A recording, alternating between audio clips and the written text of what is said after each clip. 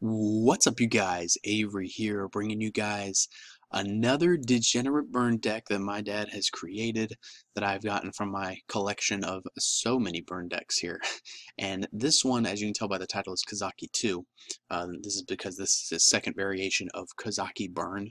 Obviously, it's not in the main deck here because um, he's still been working on it. Uh, it's not quite perfected, but I think that this is the best that it can be right now, just because of the fact that, you know, it's not the best of burn decks, obviously, but it's something different that I still wanted to put out for you guys because you guys showed so much support on that burn video. It has almost a thousand views, which is insane. I mean, when I checked it just the other day, it was at like over 600 views, and I mean, the, the numbers have been going up so quick. So, let's just hop right into this deck profile for you guys and be sure to smash that like button if you want to see more burn videos whether you want to see a chain energy build which I also have um, another Kozaki build um, a more stall based build whatever you guys want to see let me know because I've got a collection in here and obviously you guys like it so I'm going to keep on bringing it to you. So without any further ado, let's get into it. So the reason why it was called Kozaki is because it revolves around cards that are like Kozaki self-destruct button where it inflicts a thousand damage to the player who destroyed this set card. so you can't actually activate the card, however you can set it. So, you know, let's say that you set five back row and just pass turn and the opponent goes end phase you know, twin twisters and they end up popping two Kozaki self-destruct button, they're going to take 2,000 damage and they're not really going to want to take the risk of popping your back row since they'll be taking damage. Same thing with uh, Mecha-Dog Marron. When Mecha-Dog Marron is destroyed by battle and sent to the graveyard, it inflicts 1,000 damage to both players, and when it's on the field and destroyed and sent to the graveyard except by battle, so by card effect, it inflicts 1,000 damage to your opponent. So, you know, let's say it's, for whatever reason, face up on the field, and you know, they want to Dryden pop it, they're going to have to take a thousand, or if they attack into it, they're going to have to take a thousand. So it's one of those very interesting cards. So without any further ado, however, though, I want to get into this deck profile. So starting off with the monster lineup, you'll notice that we're playing three Lava Golem instead of two. You really want to focus more on making sure that your opponent keeps their monsters off the board, keep their board presence down to a minimum, so that's why we're playing three Lava Golems instead of two, like you saw in the chain burn video. We're also playing three Mecha-Dog Marron, one Speedroid Menko. It's basically a battle fader. You can special summon it and it changes all your opponent's monsters to defense mode.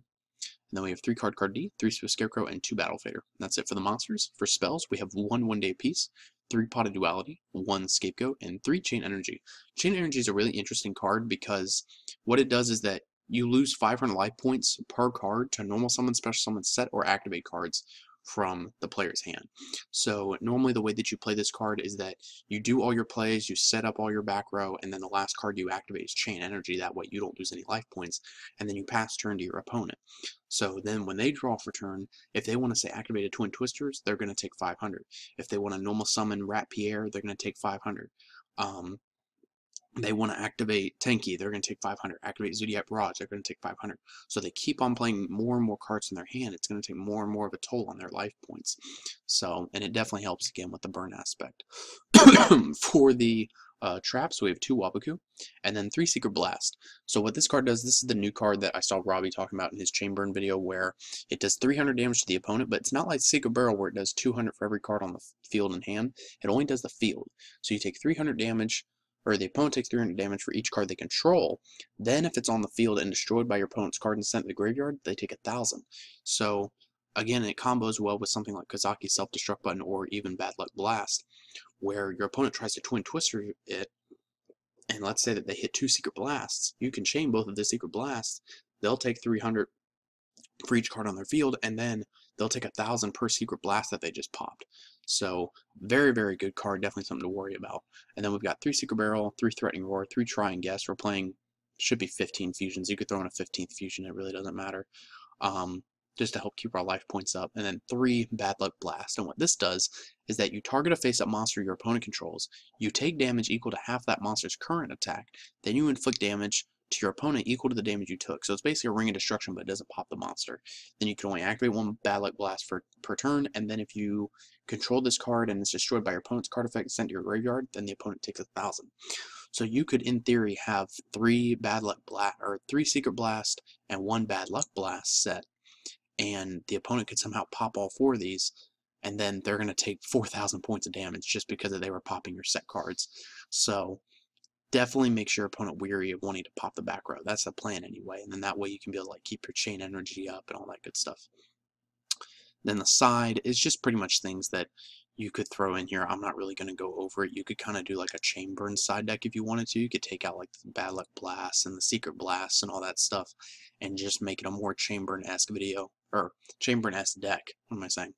Uh, you could also throw in like let's say three Kozaki self-destruct button in replacement of like I don't know, the Tri-and-Guess if you wanted to, anything like that. The extra deck's irrelevant. You just want 15 fusions for Tri-and-Guess. So that is pretty much it for this deck profile, you guys. Um, not as stally as a normal burn deck. It's more burn oriented and it's more kind of forcing your opponent to where they won't want to pop your back row because they'll be afraid of taking a thousand damage or more. So it's definitely something to worry about. You're not going to see a normal burn deck play this uh, just because it's not you know the most optimal like if you want the most optimal build of chain burn you're going to want to play the one you know, that I deck profiled the other day. Not trying to toot my own horn or anything, but I just don't think the zodiac engine is all that good and it just makes it too inconsistent. But that's it for this video, you guys. If you enjoyed, please be sure to leave a like or favorite. Be sure to hit that ding dong notification bell, be part of the hashtag notification squad, even though it sounds so stupid. and um, thank you guys for all the support. And like I said, keep on subscribing. We're almost to a thousand subs and uh, we're going to get there. So thank you guys for watching as always and subscribe if you have not already.